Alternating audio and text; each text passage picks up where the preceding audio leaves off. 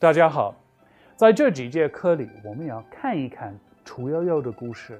我们希望能够把这个故事的一部分讲给外国人，好让我们外国人更好的去认识一位二十世纪和二十一世纪最伟大的一个中国女科学家。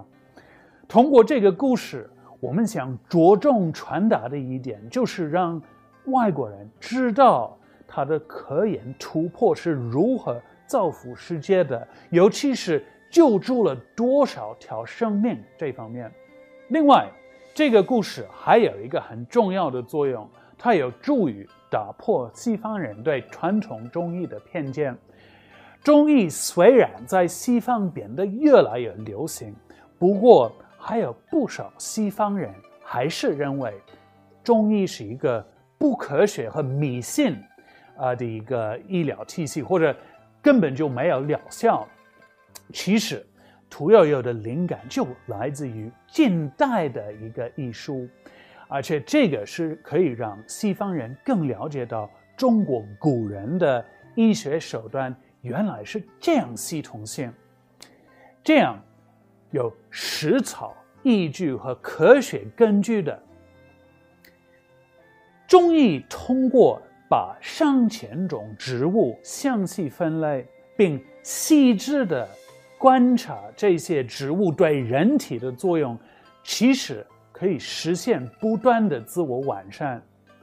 而且这些日积月累下来的实践信息，都在估计上有着详尽而系统化的体现。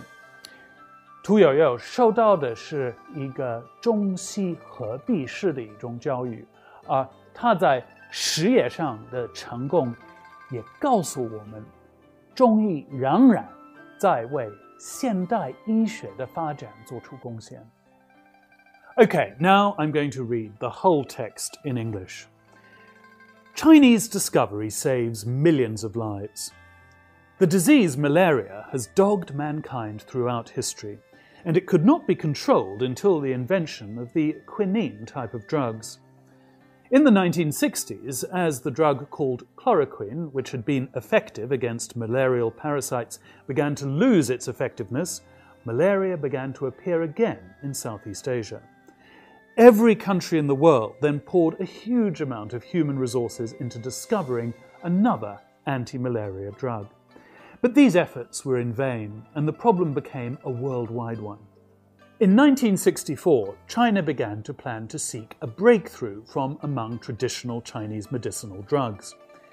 There was no great discovery until 1981, when Chinese scientist Tu Youyou gave a speech titled Chemical Research into Artemisinin at an international conference of the World Health Organization.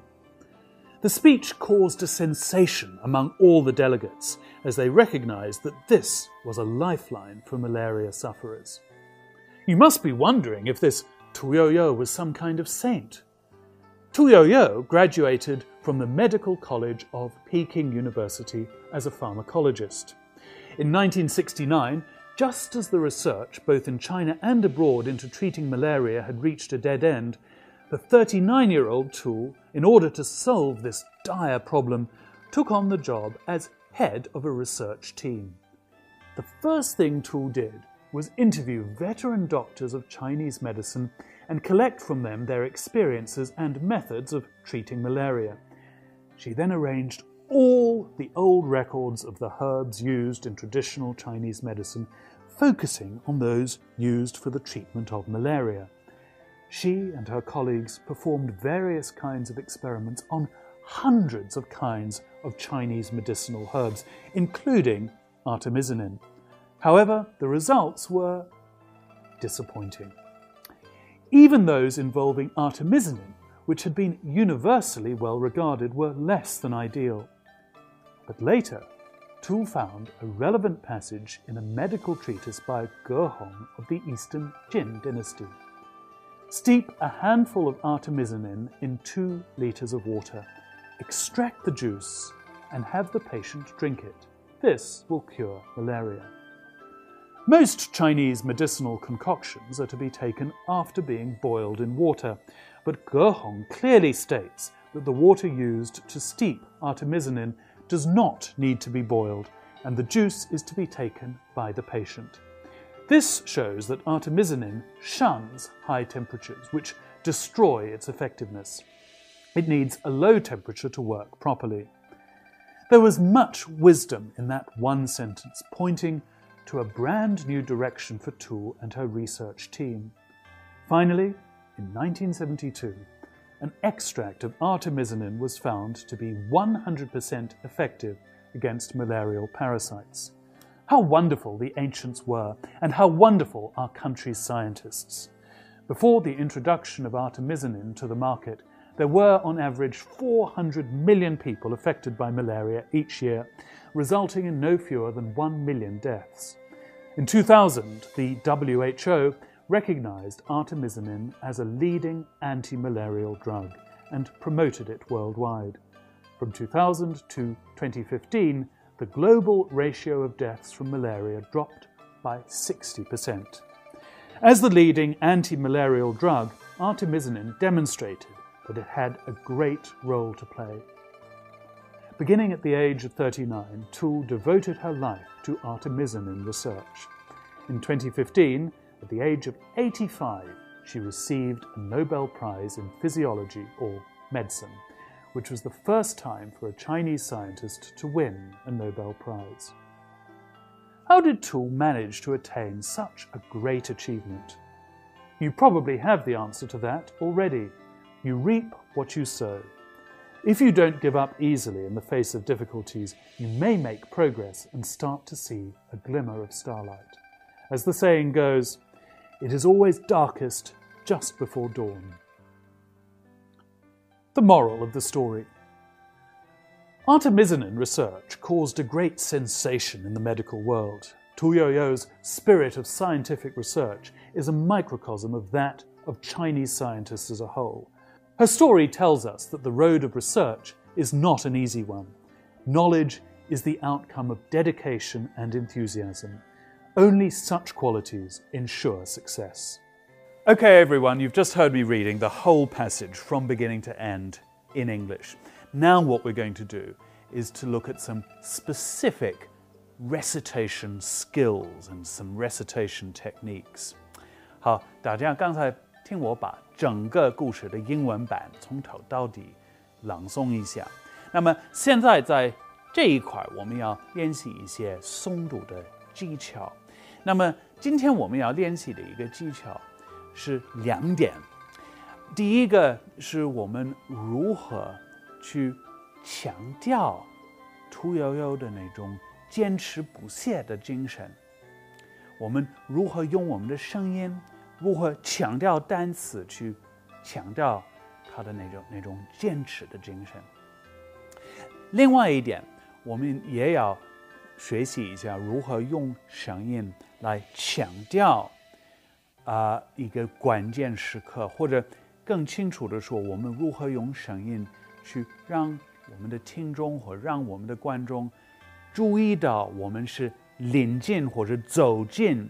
或是越来越近一个关键时刻，所以我今天选择的一个节选是恰好是屠呦呦得到他的那个突破性的发现的哪个时刻，啊那一段，啊我读这一段的时候，我希望大家可以注意到两点，第一点就是我如何，而且通过强调哪些单词来强调屠呦呦的。坚持不懈的精神。第二点是，我如何用我的声音来告诉观众和听众，我们现在是临近他的突破发现。Okay, so I'm going to read a passage from the story that we've just been reading. And as I read this passage, I want everyone to listen carefully for how and by emphasizing what words I bring across to the audience Tu Youyou's persistence. The second thing I want to uh, let everyone pay some attention to is how I use my voice to indicate to the audience that we're getting close to a key moment in the story. In other words, Tu Youyou's breakthrough, her discovery. Okay, let's listen to the passage first. The first thing Tu did was interview veteran doctors of Chinese medicine and collect from them their experience and methods of treating malaria. She then arranged all the old records of the herbs used in traditional Chinese medicine, focusing on those used for the treatment of malaria. She and her colleagues performed various kinds of experiments on hundreds of kinds of Chinese medicinal herbs, including artemisinin. However, the results were disappointing. Even those involving artemisinin which had been universally well regarded, were less than ideal. But later, Tu found a relevant passage in a medical treatise by Ge Hong of the Eastern Jin dynasty. Steep a handful of artemisinin in two liters of water, extract the juice, and have the patient drink it. This will cure malaria. So, I don't know if everyone heard which words I emphasized to try to reflect Tu Youyou's persistence and determination. The words I emphasized were the words all and hundreds. Now, why did I emphasize those two words? Well, because that is the way in which her persistence was shown. She didn't just test one or two herbs, she tested all the herbs. She didn't just uh, check one or two records, she checked hundreds of records. So when we emphasize those words, we need to carry in our voice the sense that this is something that was a big task, a big effort, a big endeavor. So we don't just want to say, uh, she then arranged all the old records from the herbs. We want to say, she then arranged all the old records of the herbs used in traditional Chinese medicine.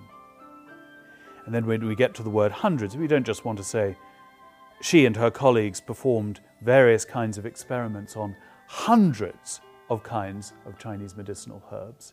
We want to say she and her colleagues performed various kinds of experiments on hundreds of kinds of Chinese medicinal herbs.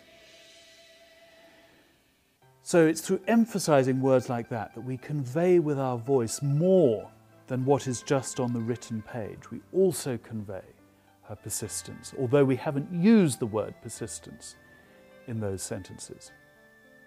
Now, the second point I want uh, everyone to pay some attention to is how I signaled with my voice the moment that we're getting close to the breakthrough.